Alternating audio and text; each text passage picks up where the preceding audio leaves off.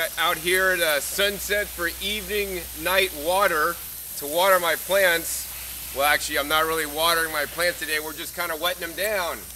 Because what we're going to do today is that we're going to release some beneficial insects. So I love releasing and using beneficial insects to basically eat the bad bugs. Because when you got too much bad bugs, the bad bugs suck the juice or the life out of your plants. So first what we have to do is we have to water this down because what we're going to do today is we're going to release ladybugs. So by watering down the uh, plants and once again release your ladybugs at night, they have the highest probability of actually hanging out and not flying away. Once again, ladybugs are wild animals or wild creatures. And even though you release them, it doesn't mean they're going to stay in your garden. So a few things you could do, like, you know, release them at night or when it turns light or when the sun's down, or actually I'd probably wait a little bit and release them in a little bit when it gets even darker, but then I could make the video. Uh, number two, you want to uh, water your plants down, you know, get it nice and moist for them. You know, that's going to be really important. And the final thing, and the most important thing before you release any beneficials or beneficial insects in your garden is that make sure they're gonna have food. because if you're like, oh, let's release some beneficials, I don't know if I need them or not. If you release them and there's no food for them, guess what? They're gonna split because they're gonna go somewhere else where there is food, you know? I mean, I'd love to hang out at my house because I have all this food to eat. But my neighbor, he has a lawn. I'm not gonna wanna hang out at his place. So let me show you what I mean by some food. These are some actually uh, flowering um, Brussels sprout tops and uh, you know it makes the Brussels sprout flowers which are quite edible. And the top these are the unopened buds.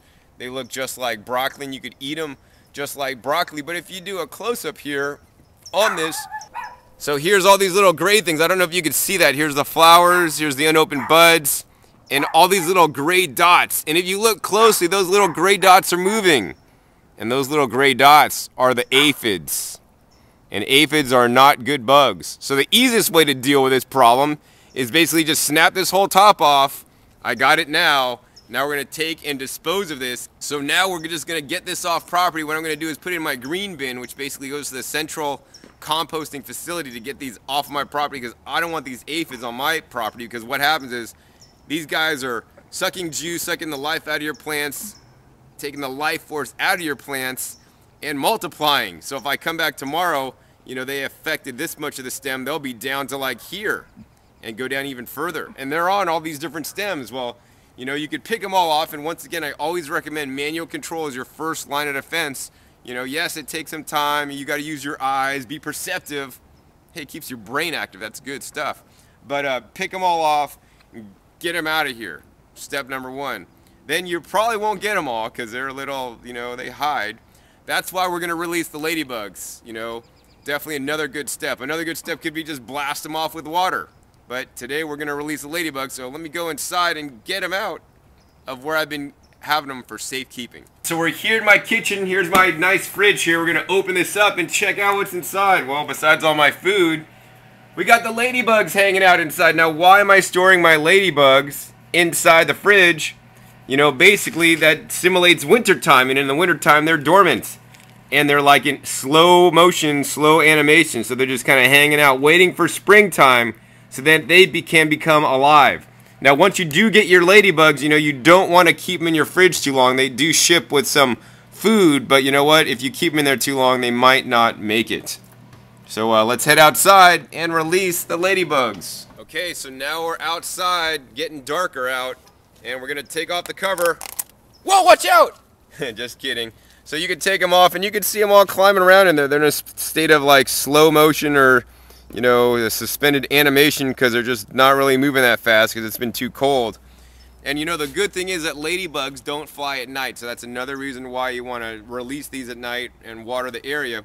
And they're actually trying to crawl out of the container here. So I'm just going to simply take the container and you know, with the bedding and everything, I'm just shaking them around the infected area and yeah they're gonna drop to the ground but you know what they like to climb at night so they'll actually climb up on top of the plants and find all the aphids and they'll say oh this is a good place to live you know we're gonna hang out here and lay our eggs and then well they'll have more ladybugs later and so sure enough I mean I did a nice big ladybug release last year and I still have ladybugs you know, that before I even released any this year. So ladybugs can eat up to 50 aphids a day. That's a lot of aphids. They could probably clear cut one of these tops and just eat them all.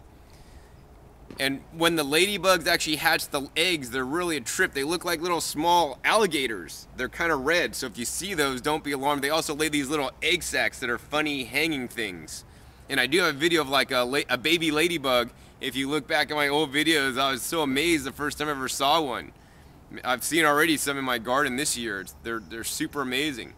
But I love ladybugs, and once again, ladybugs are a beneficial insect you can release in your garden to control some of your pests. Oh, and don't fall for it. Like, if you see the ladybugs, it says, stay home ladybugs, like they're supposed to stay home, stay on your property. Don't believe it, because you know what? They're going to go wherever there's food. And once again, the main things to remember, number one, water your area down, release them at light at night, and make sure they have food in the area so that they'll hang out and feed on your bad bugs. All right, so let's check out some ladybugs. Get it on! so I did a ladybug release as you saw, and uh, you know, here's some ladybugs. I don't know if you could see that right there. Like one is right on top of the other, and they're mating. Oh man, look, so there's one there, then there's also one underneath here. I don't know if you could see that underneath there. And here we go, look, there's even more. There's a ladybug orgy going on right here, right there. There's more right there. And even right there and right there. So I released one whole container of ladybugs and they're all mating right now. And I think they know this is a good place to mate because just right above where they're mating and then they'll soon be laying some uh, eggs is their food source. Look at all these aphids in my flowering dinosaur kale.